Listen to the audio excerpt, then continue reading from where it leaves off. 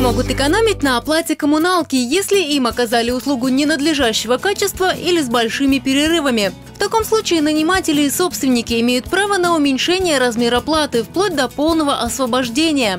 Доказать факт ненадлежащего оказания услуг можно актом поставщика, свидетельскими показаниями, аудио и видеозаписями или заключением эксперта.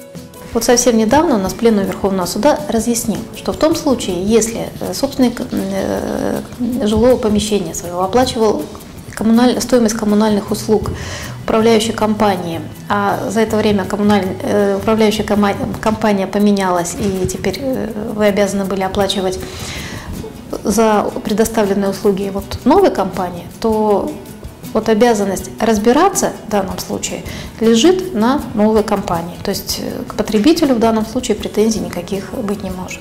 Разъяснения пленума будут ценны также для жильцов, которые покинули свою квартиру на 5 и более дней. Ведь они вправе попросить перерасчет оплаты за коммуналку. Кроме того, важно знать, что наличие долгов не всегда должно означать приостановление тех или иных коммунальных услуг. Прежде чем что-либо отрезать или отключить, нужно письменно уведомить должника, а также проанализировать соразмерность допущенного нарушения. Если долг небольшой, приостановить услугу нельзя.